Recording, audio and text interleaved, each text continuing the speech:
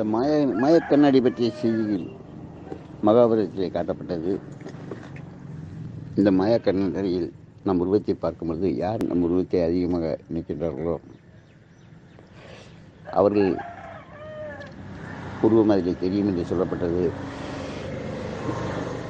திருப்பதி பார்த்த பொழுது கர்ணனின் ஆக கர்ணனின் மனதிலே யார் இருக்கிறார்கள்? கர்ணனிடம் யார் இருக்கிறார்கள்? நான் தான் இருக்கிறேன் நீ தான் இருக்கிறேன் என்று பஞ்சபாண்டவர்கள் திருப்பதி முதற்கொண்டு நினைத்தார்கள். இந்தியும் அவ்வாறே எண்ணினால் நம் மக்கள் தான் அவன் மனதிலே இருக்க முடியும் என்று எண்ணினார்கள்.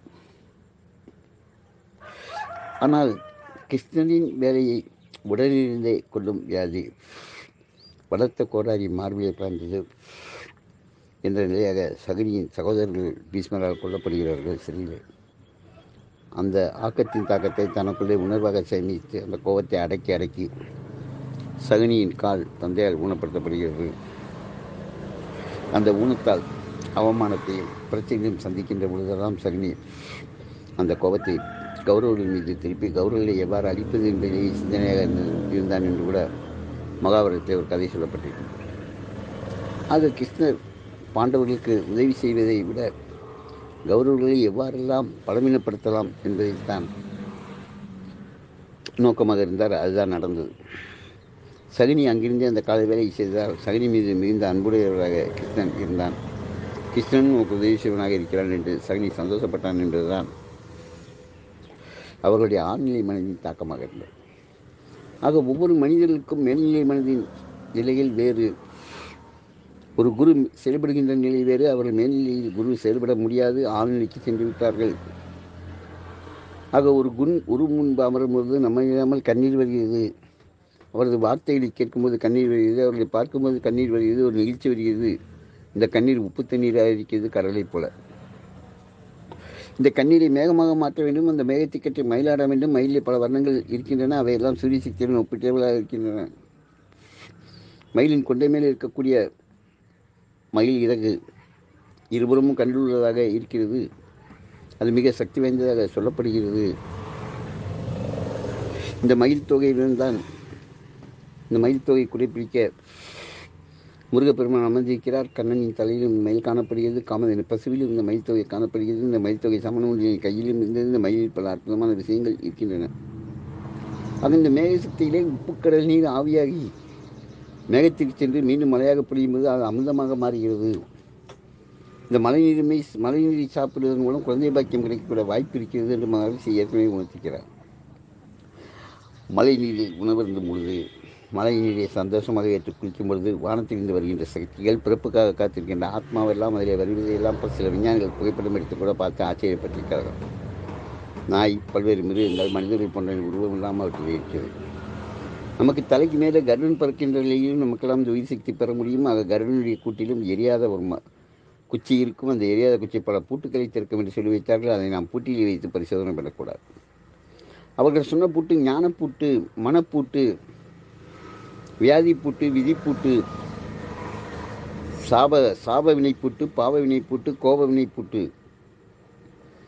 அது எந்த சாபமாக இருந்தாலும் ஆண் சாபமாக பெண் சாபமாக நாகசாபமாக சர்ப்ப சாபமாக மிருகங்களின் சாபமாக பல்வேறு சாபங்கள் இருக்கின்றன இந்த உலகிலே அறிந்தும் அறியாமலும் தெரிந்தும் தெரியாமலும் புரிந்தும் தெரியாமல் நம்ம அறியாமல் சில நிகழ்ச்சிகள் நடந்து விடுகின்றன. அப்பொழுது நம் மனம் கலங்குகிறது வேதனைப்படுகிறது. ஒரு எறும்புக்கு துன்பம் செய்தால் கூட நாம் சரா சாதாரண எறும்புக்குத்தானே துன்பம் செய்தோம். அதை நம்ம என்ன செய்துவிட முடியும் என்று நாம் சந்தோஷப்பட முடியாது. இந்த எறும்புகள் இந்த உலக சக்திக்கு அப்பாற்பட்டவை. ஆக நாம் இந்த உலகத்திற்கு அப்பாற்பட்ட சக்தியிலும் நாம் சாபத்தை வாங்குவதில் கடுமையாக பாதிக்கப்பட்ட நிலையில் இருக்கிறோம். ஆக எறும்பு தோஷத்தை எறும்புக்கான உணவை படைக்கின்ற நிலையிலே பல அதிசயமான சக்திகள் அற்புதமான சக்திகளை தான் அடைய முடியும். அது மிக வலிமையாக நமக்கு கிடைக்க வேண்டும். ஆழ்நிலையிலே கிடைக்க வேண்டும் மேல்நிலையை கிடைக்காமல் இருக்க வேண்டும் என்றால் நம்முடைய உணர்வின் இயக்கங்களை நம் உடலில் இருக்கின்ற பல்வேறு நிலைகளில் இருக்கின்றன நம் உடலின் இயக்கங்களையும் அந்த நம் எலும்புக்கு வைக்கின்ற சர்க்கரை தேன் அல்லது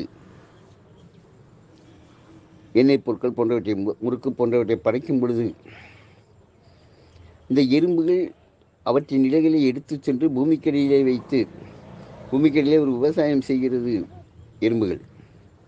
ஆக இந்த உலகிலே தோன்றிய முதல் விவசாய எறும்புகள் என்று வலைதள செய்திகள் கூறுகின்றன. ஆக எறும்பு இந்த உலகத்திற்கு அப்பாற்பட்டு சூரிய சக்தி இல்லாத நிலைகளிலே சூரிய சக்தி பெற வேண்டாம் என்ற நிலையில் அதை சேமித்து வைக்கின்றன. கரையான்களும் அவ்விதமே செய்கின்றன. க கரும்பாம் பாம்புகள் கரையான் புற்று எடுக்க கரும்பாம்பு குடியேறினாலும் கரையான் அதற்குள்ளே தன்னுடைய உணவை சேமித்து சேகரித்து வைத்து சாப்பிடும் நிலையாக இருக்கிறது. அந்த உணவு நீர்ப்பட்டு விட்டால் எறும்புகள் அதை மேலே கொண்டு வந்து உலர்த்தி மறுபடியும் கொண்டு செல்லக்கூடிய நிலைகளாக எறும்புகள் செயல்படக்கூடிய தன்மை இருக்கிறது. இந்த எறும்புகளுக்குள்ளே அந்த வாசனை சக்தி ஒன்றோடன்று பேசுகின்ற சக்தியமாக இருக்கிறது. எறும்புக்கும் தன் கையால் எட்டேசான் என்று சொன்னால் அவை.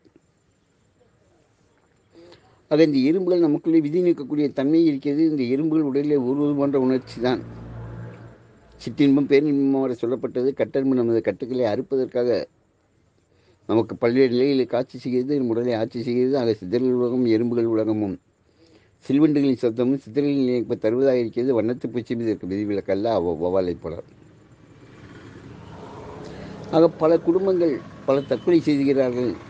காதலாக காதலாக இருந்து ஒன்றாக தற்கொலை செய்து விடுகிறார்கள் கணவன் இருந்தவுடன் மனைவி இருந்து விடுகிறாள். மனைவி இருந்தால் கணவன் இருந்து விடுகிறான் போன்ற ஒரு ஆத்ம ஒற்றுமை இருக்கிறது. ஏன் இந்த வயதிலே சாக வேண்டும்? ஏன் இப்படி பித்து பிடித்தாலையா என்று நாம் தெரியாமல் பேசிக்கொண்டிருக்கிறோம்? புறாக்களிலே மாடப்புறா என்று ஒரு வித புறாக்கள் இருக்கின்றன. இந்த மாடப்புறாக்கள் ஜோடியை பிரிந்த பின் வாழ்கின்ற தன்மை இல்லை. என்றெல்லாம் பல்வேறு நிலைகளில் சொல்லப்பட்டிருக்கிறது. இப்படி புறாக்களிலே ஜோடியை பிரிந்தபின் வாழாத தன்மையாக அந்த ஜோடியை நினைத்தே வாழ்கின்ற தன்மையாக இருக்கின்ற புறாக்கள் இருக்கின்றன. இந்த புறாக்களின் நிலையிலிருந்து மனித பிறப்பிற்கு மீண்டும் அவர்கள் பிறக்கிறார்கள். மீண்டும் ஒன்று சேர அவர் அவ்வாறு ஒன்று சேர்கின்ற அந்த துடிப்பின் அலைகள் ஆழ்மனிதிலே சென்று மீண்டும் இருந்து மீண்டும் பிறப்போம் இப்பொழுது மனித பிறப்பிக்கு வந்துவிட்டோம் மீண்டும் இந்த மனித பிறப்பிலிருந்து இன்னொரு மனித பிறப்பாக வந்து சேர்ந்து பிறக்கின்ற தன்மையாக நாம் இருப்போம் என்று சொல்லி சொல்லப்படுகிற நிலையாக செயல்பட்டுக் கொண்டிருக்கிறார்கள். ஆதி காலத்திலே நிறைவேறாத காதல் நிறைவேறாத காதலே கிடையாது. கிருஷ்ணர் கவர்ந்து தான் கல்யாணம் பண்ணி கொண்டார் என்றெல்லாம் சொல்லப்பட்டிருந்தாலும் கூட ஆதி காலத்திலே என்ன வேறுபாடுகள் இருந்தாலும் மடலேறும் என்ற ஒரு பழக்கம் இருந்தது. இந்த மடலேறுதல் என்பது பனைமரத்தை குறிப்பதாக இருக்கிறது. பனைமரத்தை பற்றியும் ஏற்கனவே பேசியிருக்கிறோம் பல்வேறு நிலைகளில் ஆக இந்த பனைமரத்தால் குதிரை செய்து ஆவாரம்பூ எருக்கம்பூ போன்றவற்றை அணிந்து கொண்டு நான் இந்த பெண்ணை விரும்புகிறேன். இந்த பெண் இந்த பெண் எனக்கு தேவை என்ற நிலையாக ஓலை குறிப்புகளை எழுதி வைத்து அனைவரிடம் ஊரால் முன்பு அந்த பனை ஓலை குதிரையை கொண்டு வந்து அனைவரும் இதை காட்டி அனைவர் சம்மந்தம் ஒன்று சேர்ந்து அவர்களை இணைத்து வைக்கின்ற சம்பவமெல்லாம் ஆதி காலத்தில் நடந்திருக்கிறது ஆக அந்த பனை என்று சொல்லக்கூடிய நிலையில் தான் பனை தனி தான் பனை ஒளியில் செய்யப்பட்ட மாங்கல்யம் தான் ஆதி பெண்களுக்கு அணிவிக்கப்பட்ட அந்த திருமண சடங்கு நடத்தப்பட்டது.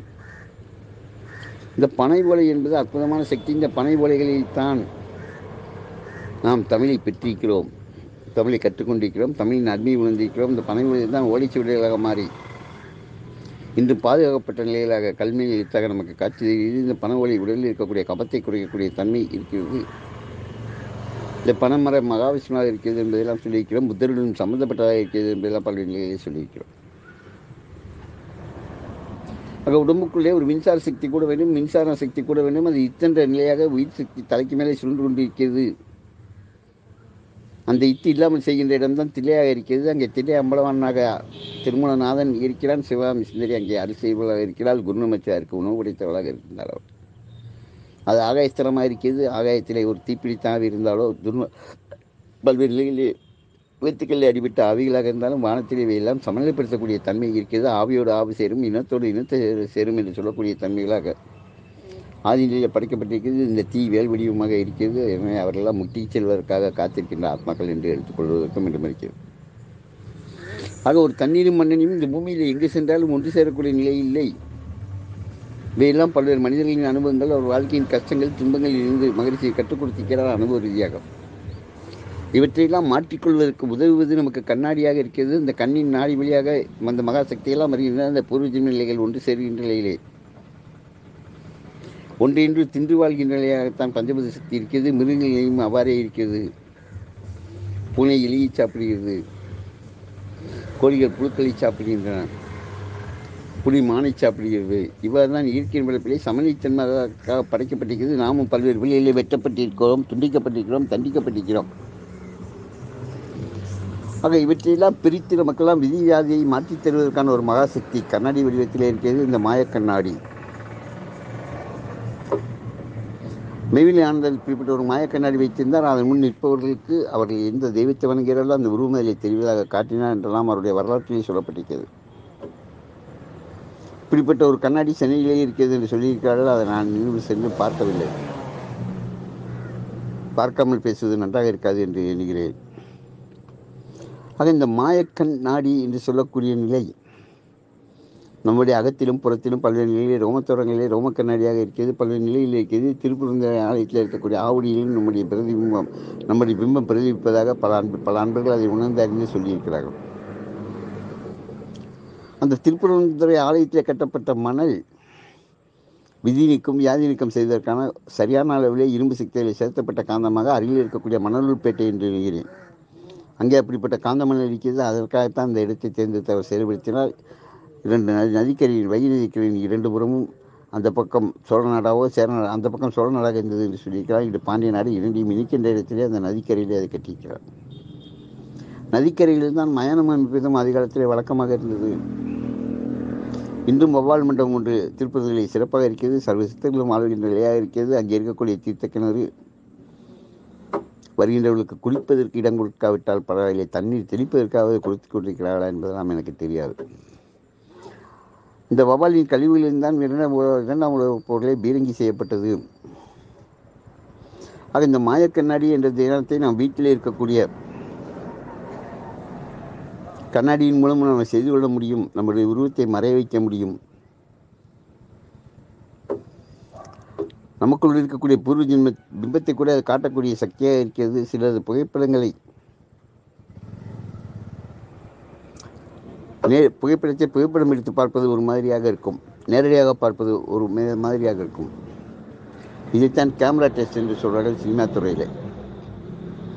ஆக ஒரு கண்ணாடி முன்பு அதற்கான பிம்பம் நமக்குள்ளே செல்வெடுக்கின்ற இன்னொரு பிம்பம் அந்த கண்ணாடியின் பதிவாகக்கூடிய நிலை இருக்கிறது இந்த கண்ணாடி பாரச கண்ணாடியாக இருக்கிறது என்று எண்ணுகிறேன் ஆக இந்த கண்ணாடி வழி தியானம் செய்கின்ற நிலையிலே நம்முடைய விதிவியாதிகளை நாம் மாற்றிக்கொள்ள முடியும் என்பதையெல்லாம் எங்களது முதல் ஆத்ம சங்கம் விழா காரமடைகளில் நடந்தபோது அன்றை முதல் முதலாக உயிர் நன்றாயுதம் என்றோடு திருமூலர் உயிர் எவ்வாறு பிரிந்ததோ மீண்டும் அந்த உயிர் எவ்வாறு மாடுகள் நிலையிலே சுற்றி நின்று அம்மா அம்மா என்ற ஓசைகளிலே அந்த ஓங்கார சக்தி திருமூலர் உடலுக்குள் சென்று மீண்டும் அவரை உயிர்ப்பித்ததோ அந்த உயிர் தண்டாயத்தை அங்கே அறிமுகப்படுத்தி அங்கே வந்த அனைவரும் ஏழு நிமிடம் எட்டு நிமிடத்திற்குள் தங்களுக்குள் ஒரு மாற்றம் இருப்பதை அறிந்தார்கள். ஒரு அன்பர் தன்னுடைய உருவம் அறிந்து விட்டதாக கூட அங்கே அனுபவியாக சொன்னார்கள். ஆக அந்த உயிர் தண்டாயுதம் என்பது ஒரு ஸ்கேனர் என்று சொல்லக்கூடிய நிலையை பயன்படுத்தப்படுகிறது. நவியாயிகளை தீர்ப்பதற்காக தீர்ப்பதற்காகவும் பயன்படுத்துகிறது இந்த ஈட் என்றாலை. நமது உடலிலே உயிர் சக்தியாக தலைக்கு மேலே சுழன்று கொண்டிருக்கிறது. இதற்கு இணையான ஒரு மகாசக்தி தான் திணை என்ற நிலையிலாக இந்த உலகத்திலே முருகனுக்கு சொல்லப்பட்டது. முருகன் என்றும் குமரனாக இருக்கின்ற நிலை வருகிறது.